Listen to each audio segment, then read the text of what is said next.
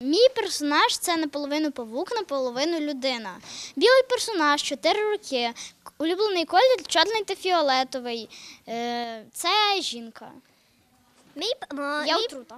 мій персонаж це фламінго Емілі. Улюблений колір рожевий, білий та жовтий. Носить на голові е, квіточку ромашку, обожнюю ромашки. Е, одно е, зло, зло добре персонаж у виставі.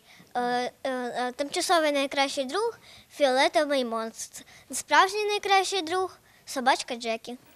Таких персонажів Лея та Вероніка грають у своїй першій виставі. Всього за тиждень 14 дітей спробували й зуміли стати справжніми зірками театру. І не простого, а театру ляльок. Своїх героїв робили власноруч із фетру. Сценарій до вистав теж писали самостійно. Їхні постановки казкові, але зі змістом та повчанням. Добро завжди перемагає, та не треба вірити, що пишуть в телефоні в якоїсь групі. Особливо е, в вайбер-чаті ОСББ.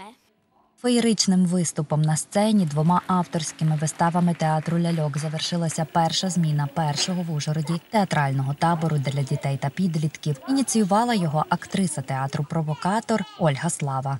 Цього тижня ми відвідували е, театр ляльок.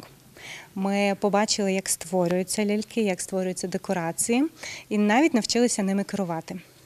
Ми побачили виставу театром ляльок і настільки цим захопилися, що вирішили і самі е, зробити виставу театром ляльок.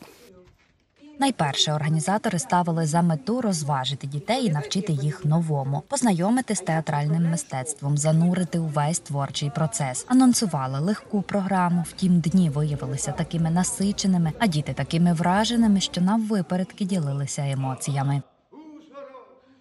Мені запам'яталося найбільше, як ми робили свічки. Е, і коли ми ходили по всьому місту, у нас був квест. А я навчилася робити ну, із фетра рукавички. І ще ми дуже много ходили, що ноги боліли. Я робив табори, робив свого персонажа із фетра. Мені дуже сподобалось робити свічки. Я з Іллею зробив парні свічки. Ну, я знаю, що ми вже повторимося, ну. Ну, ну як це не казати, якщо це ріл, круто. Ми дуже багато ходили по місту.